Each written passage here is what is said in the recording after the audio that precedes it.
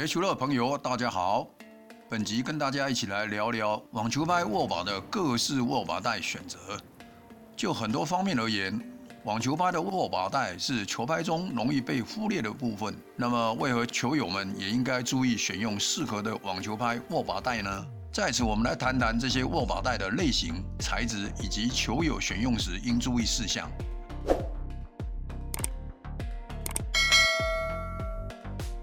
首先来辨识几个市售握把带名称的区别。第一个，原装握把带 （Original Grip）。顾名思义，购买新球拍时是制造商预先已装在握把的握把带。第二个，握把替换带 （Replacement Grip）。也顾名思义，这用于更换原装的握把带或更换先前的握把带，就将其当作原装带同等来看。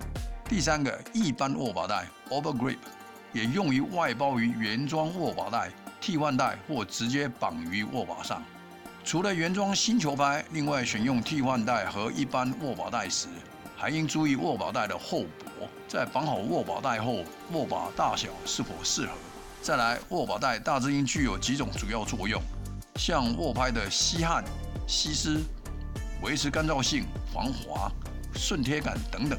但因为握柄是打球时直接与球拍连接的部分，故无论是一般球友还是职业选手，拥有合适大小和舒适度的握把和握把带都是至关重要的，而且涉及到运动表现的问题。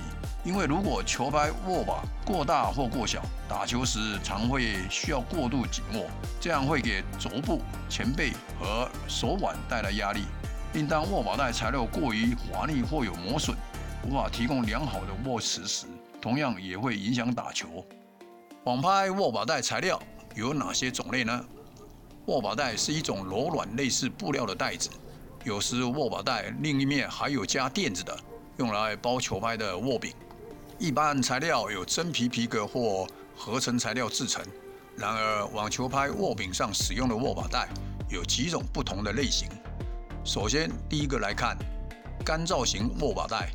如果球友天生容易出汗，或者在炎热、湿热气候下比赛，干燥型网球握把带是必须的。这些握把带可能不太舒适顺手，但它们可以防止在挥拍打球时，球拍在手中的打滑。尤其有些手汗重的网球选手，如果没有干燥型握把，极可能就影响其比赛的状况。第二个，顺贴型握把带。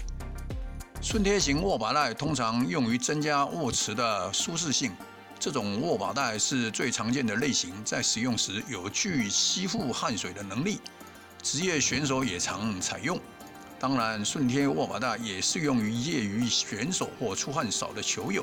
这种握把带也有不同的厚度，较薄的握把带可以让球友更好地感受是直接握到球拍。较厚的握把带会由于其更具吸震性而感觉舒适些。再来，孔洞型握把带，这种类型的握把带有孔洞，就是握把带上面有微小的孔洞，有点像网状材料，也很舒适握持。虽然孔洞型握把不像前两种握型那样土用，但它们为一些球友提供了另一个更佳的选择。这种握把带能够提供一些顺贴性。使得握持牢固，同时它的孔洞可以让手部透气、吸收汗水。不过，有些球友可能觉得不是最舒适的选择，也感觉不太防滑。但对于那些出汗不多、仍然希望在握持中保持一定手感，而又不妨碍舒适式的球友来说，孔洞型网球握把带是一个不错的选择。而以上各类型握把带大致都能符合舒适、吸汗、手感。软硬、耐用等前提下，着重某一项或多项特性来制作。再来进一步来看握把带材料。网球拍在用过一段时间后，粘在拍柄上的油脂、汗水加上一些磨耗磨损，必然会需要清理或更换握把带。而现在大多数的球拍通常采用合成材料握把带。但有些球友会喜欢使用皮革握把带。我们先来看皮革制握把带及合成材料握把带的优缺点。皮革制握把带的优点：皮革握把带的基本握持比合成材料更稳定和均匀。此外，球友如能妥善保养握把，皮革会随着时间和使用会觉得更好用。对于那些希望在网球比赛中获得较牢固握持感的球友来说，皮革握把可能是比较好的选择。很长一段时间以来，皮革握把带一直是很多网球选手的首选。不过，目前在球拍领域的发展，合成握把带在质量、抓感、吸汗性和舒适性等等方面取得了很好的性价比。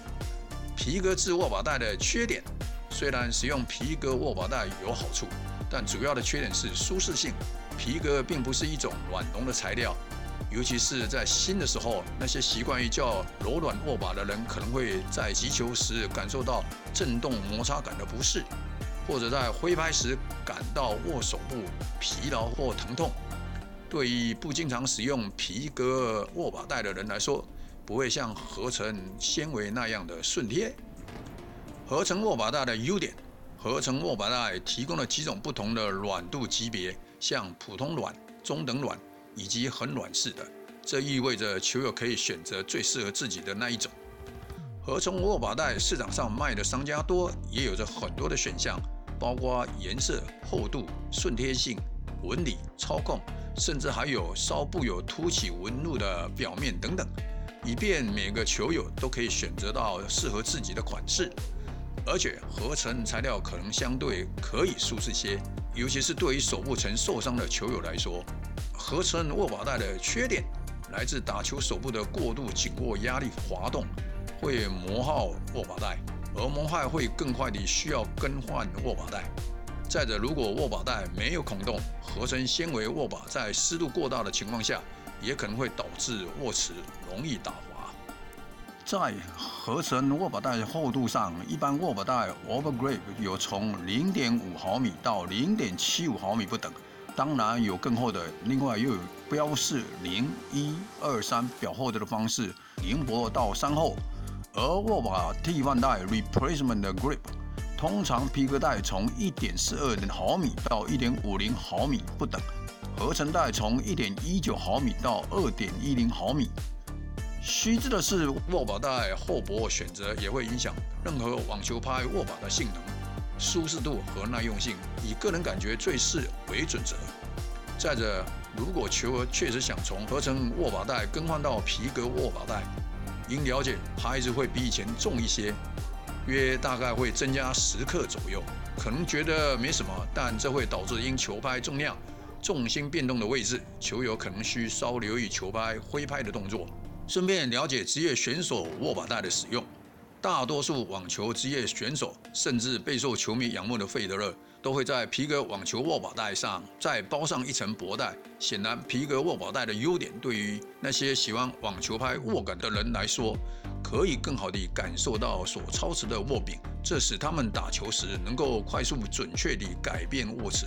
此外，皮革带较能够传递握柄和框架的震动到打球的手中，有球友觉得能更好地融入进入比赛。